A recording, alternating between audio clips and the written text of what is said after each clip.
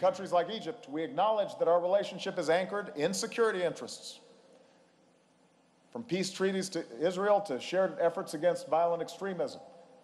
So we have not cut off cooperation with the new government, but we can and will persistently press for reforms that the Egyptian people have demanded.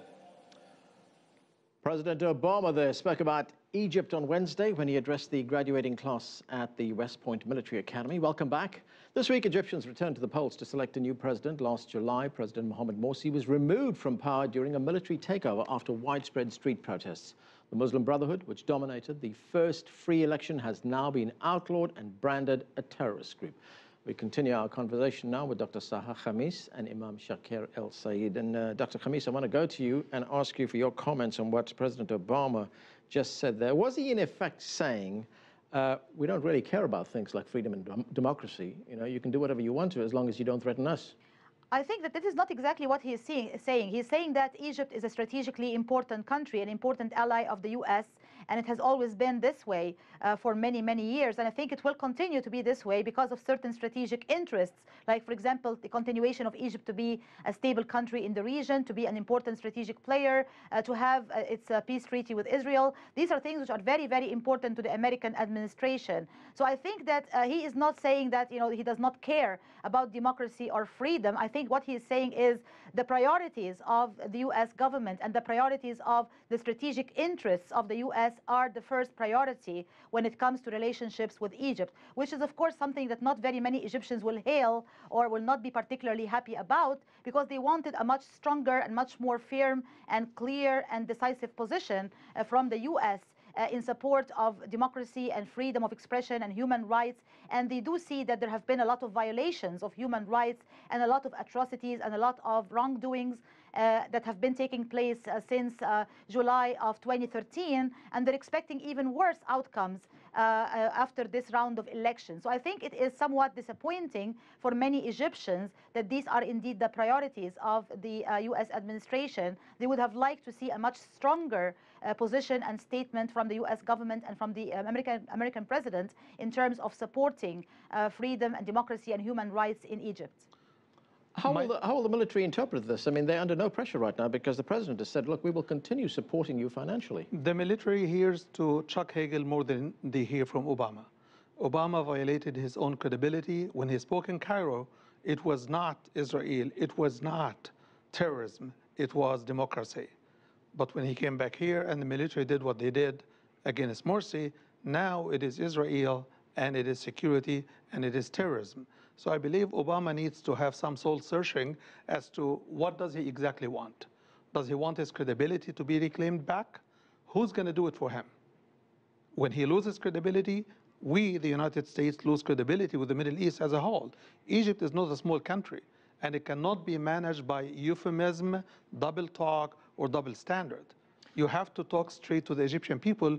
What do you want for the Egyptian people in this partnership? It cannot always be Israel on top of Egypt, terrorism on top of Egypt, and we, the Egyptian people, are living under and second to the American list of priorities, but when they come to Cairo, they want to speak nice.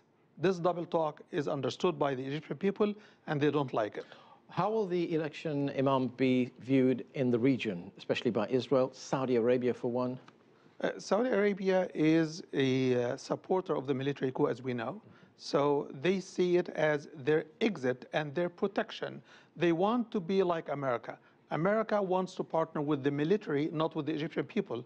So the Gulf countries like Emirates and the Saudi Arabia and some other countries, they are trying to be the Middle Eastern America, whereby they partner with the Egyptian army and they get their things done. So if they are threatened by Iran or any other threat, they want to ship the military back to the Gulf as they did against Saddam Hussein, 35,000 Egyptian soldiers were in the front lines against Saddam before American forces came in.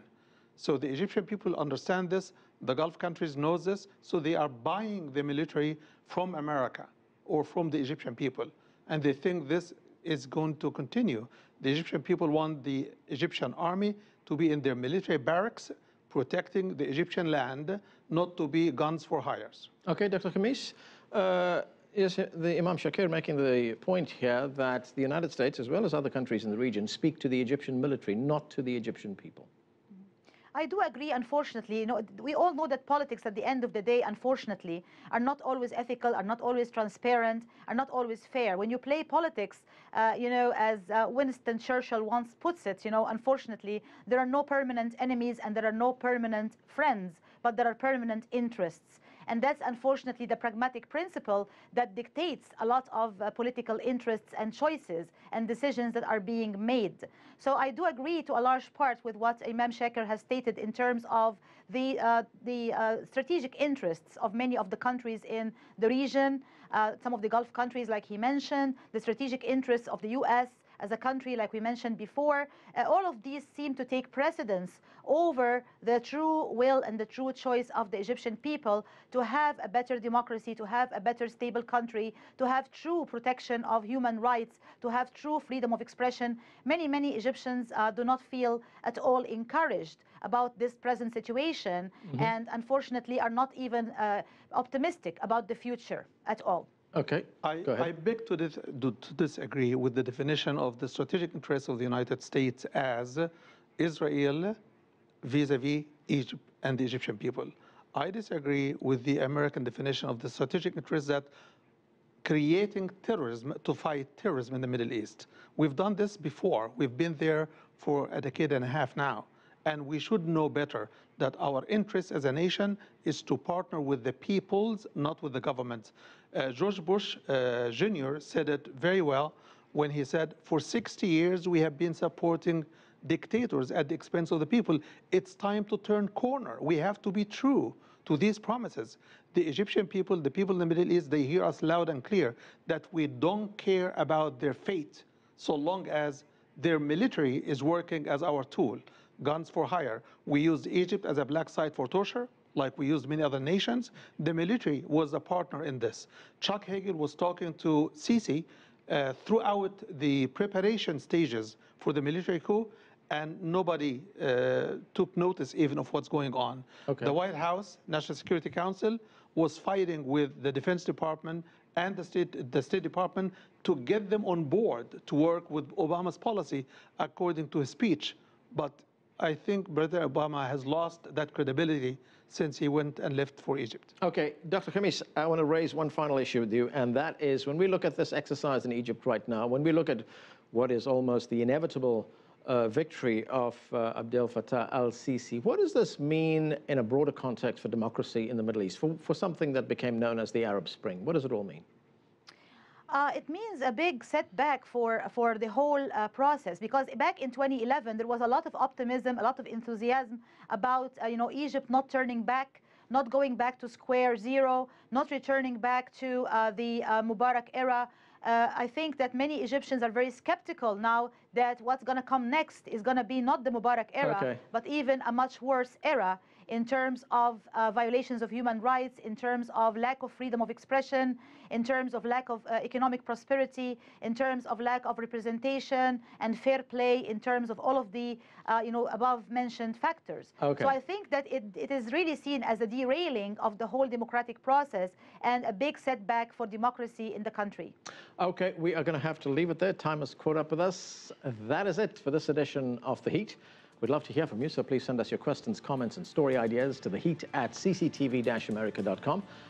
And now you can listen to CCTV America programs 24-7 from anywhere in the United States by simply calling 231-460-1199. I'm Anand Naidoo in Washington, D.C. Thanks for watching.